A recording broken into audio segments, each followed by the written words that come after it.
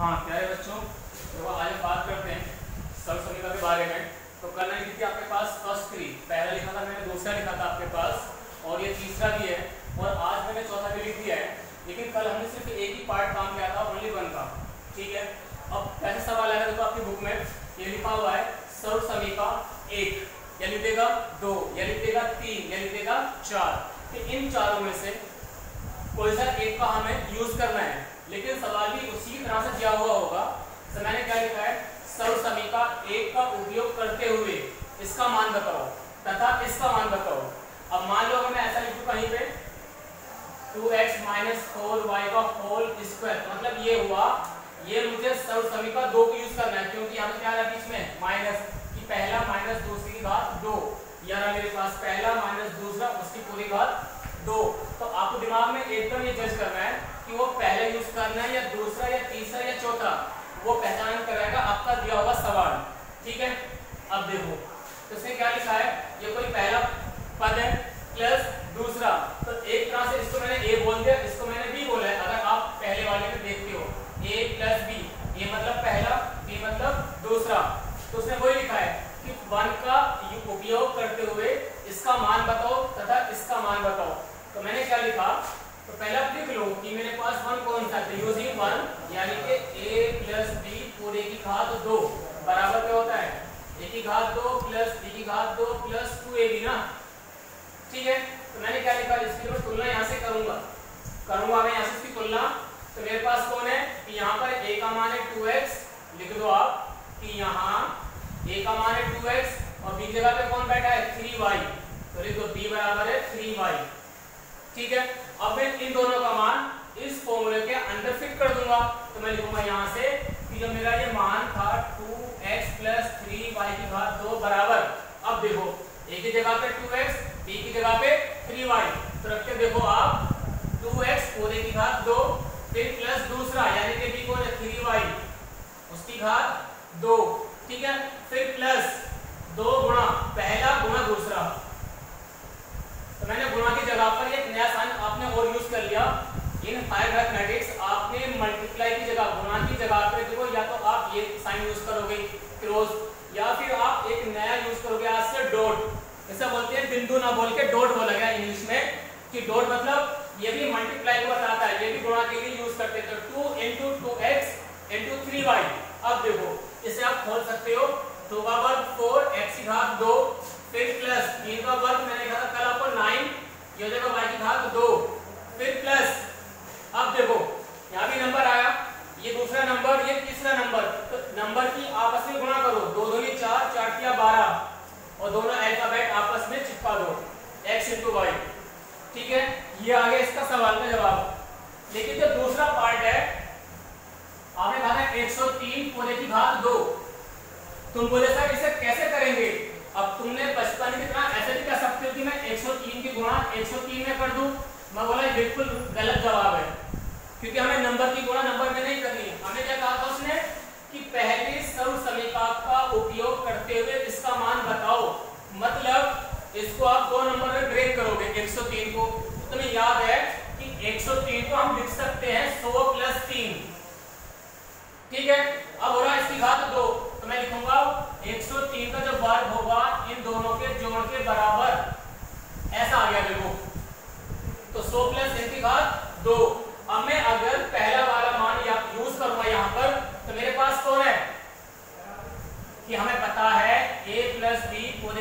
बराबर होता है। पहले का वर्ग प्लस दूसरे का वर्ग प्लस दो गुणा ए इंटू बी तो तुम ये कह सकते हो यहाँ से कि सर देखो, हमारे पास a का मान सौ आ जाएगा और b का मान तीन आ जाएगा। तो अब मैं क्या इसके बारे में यहाँ से कि 103 जो आपने लिखा था तो उसको क्या लिखेंगे आप? कि यह आया पहले की घात दो, इसके जगह पे देखो, फिर b जगह लिखो तीन। तो तीन की घात दो, फिर प्लस दो गुणा सौ गुणा तीन। देखो ना, मैंने इसमें ए का मान सौ रख दिया बी का मान तीन रख दिया। क्यों? मैंने आपको बता दिया है। देखो ना, कि ए की जगह पे सौ आ रहा है और बी की जगह पे तीन आ रहा है। तो मैंने वही रखा है। तो ए की घात दो, यानी कि सौ की घात दो, फिर बी की जगह पे तीन, उसकी घात दो, फिर प्लस दो गुणा ए का मान गुणा बी का मान। ठीक है? अब इसको ओपन कर दो। देखो, जब भी सौ है, इसकी घात है दो। यानी कि जितनी ज़ीरो आ रही है, घात के हिसाब से उसको दो होगा तो डबल करूँगा। और अगर घात तीन है इसकी तो उसकी घात तीन गुना कर देंगे छह कर दूँगा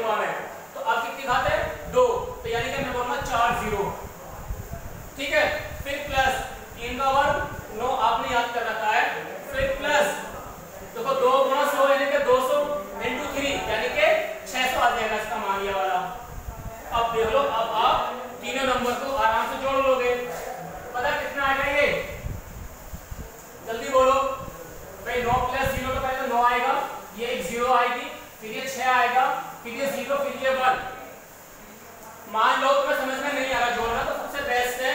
उसको आप लिख लो अपने बचपन की तरह। कि पहले मेरे पास है टेन थाउज़ेंड ये रहा। फिर मेरे पास आ रहा है सिर्फ़ छह सौ। ये लिख दिया मैंने। फिर मेरे पास आ रहा है नौ। तीनों को जोड़ दो। देखो, यहाँ से नौ आएगा, यहाँ से ज़ीरो आएगा इससे छह आएगा, यहाँ से ज़ीरो आएगा तो ये वन आएगा। ये इसका तरीका है। तो देखो, अभी हमारा सिर्फ़ एक रूल डिस्कस हुआ है आज। दूसरा बिल्कुल ऐसे कर लोगे आप, अगर बीच में माइनस आ गया, सिर्फ़ उस रूल का यूज़ करना है आपको। ठीक है? मैं इसको देखो इरेज कर देता हूँ। आप देखो तीसरा कैसे यूज़ करना है। तीसरा कैसे तो आसान है तुम देखो चौथा पहले ठीक है, तीसरा मैंने आपको कल करा दिया था। तो चीज़ें बहुत आसान है, बस आपको देखते जाना है अब देखो अगर मैं बात करूँ मान लो दूसरा बिल्कुल आसान है तीसरा देख लो आप एक सवाल को ऐसा भी करते हुए मैंने आपसे ये लिख दिया x square minus nine y square लिख दिया बताओ कैसे करोगे इस सवाल को आप करते हुए इसका मान ज्ञात करो। ये बहुत आसान है, मैंने लिखा आपके लिए होमवर्क मैं लिखता हूँ, इसमें कोई सवाल है एक बहुत अच्छा। मुझे दिख आपकी बुक में लिखा हुआ है कि निम्नलिखित का मान बताओ। लिखा उसने? मान बताओ। लेकिन कैसे बताना है? देखो, दिमाग चलाना हमें क्या लिखा, मान बताओ। किसका बताओ? उसने लिख दिया आपके पास। सवाल है 501 गुणा 503 लेकिन पता उसने क्या लिखा है? उसने एक बहुत प्यारी बात ये लिखी है, ये जब बताओगे, जब मैं इसमें ये वाला मान, क्या लिखा उसने?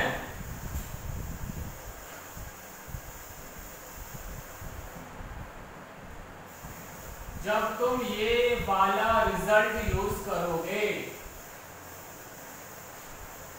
मान बताओ इसका यदि ये ऐसा दे रखा है। तो बेटा मतलब ये होगा कि सर हाँ मैं समझ गया, मुझे इसमें चौथा प्रॉपर्टी यूज़ करना है। क्यों? क्योंकि देख लो आप, इसकी तुलना करके देख लो। एक ब्रैकेट ये रहा, दूसरा ब्रैकेट ये लिखा हुआ है तो उसने ऐसी गुणा करके दिखाया तो ऐसा नज़र आ रहा है, वो बिल्कुल डिप्टो ये हो रहा है। तो किताब ने आपकी मदद ये कर दी है। सवाल देकर बोलता है कि ये वाला मान बताओ, जब इसे यूज़ करोगे। तो कोई बड़ी बात नहीं बेटा। पहले मैं इस नंबर को ऐसे लिखूँगा, देखो 500 प्लस एक 500 प्लस तीन। क्यों बेटा?